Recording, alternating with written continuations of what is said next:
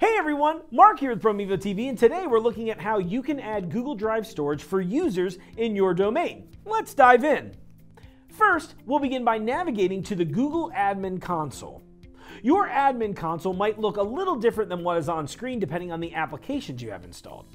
Next, click on the billing icon to open a contextual overview page based on the current subscriptions under your domain.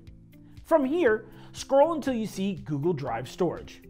Please note, if this is your first time adding drive storage to users in your domain, you might see an alert to quote, contact reseller to modify order. If so, just reach out to our dedicated support team at Promevo to help enable the function on the user end. Our support team's contact information will be provided in the additional information section of the video below. Once the feature is enabled, you will see an Actions option appear within the Google Drive storage section. Clicking this will open a drop-down menu. Select Manage Licenses to continue. From here, you will see an overview of the amount of Google Drive licenses currently in use under the domain, separated by varying storage sizes.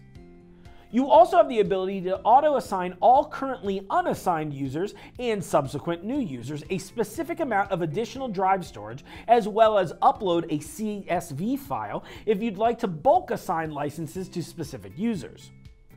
Before we get into adding any storage, we're going to go ahead and put up a pricing guide detailing costs for additional storage licenses, so get ready to pause.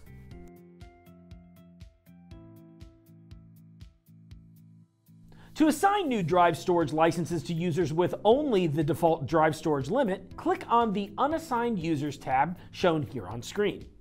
From this page, you can search for users with the help of a search box above or by browsing the full user list sorted alphabetically by first name. Using the checkboxes, select the user or users that you'd like to add additional storage to, and click on the Assign icon to open a drop-down menu. Please note that you can only select one type of storage size at a time when adding multiple licenses at once. Once the storage size is selected from the drop-down menu, a pop-up will appear asking you if you'd like to confirm the additional drive storage. If everything looks correct, click Assign License to continue. You will not be immediately billed for these licenses up front, as these charges will be applied to your following month's billing statement. It's also incredibly important to note that the additional storage will take a few hours to populate to the accounts that they were assigned to. If you'd like to either unassign drive storage licenses that are currently in use under your domain or add additional licenses to users with current licenses, click on the Assigned Users tab shown here on screen. This will give you an overview of the users in your domain that currently have drive storage licenses. Like our previous menu, you can locate users with the help of the search bar above or by browsing the entire list.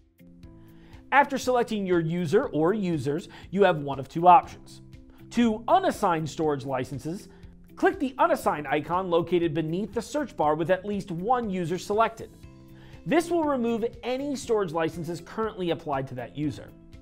Please note that this license cannot be reassigned to another user and there will not be a pop-up confirming the license removal. So our pro tip is to double check your user selection before clicking unassign.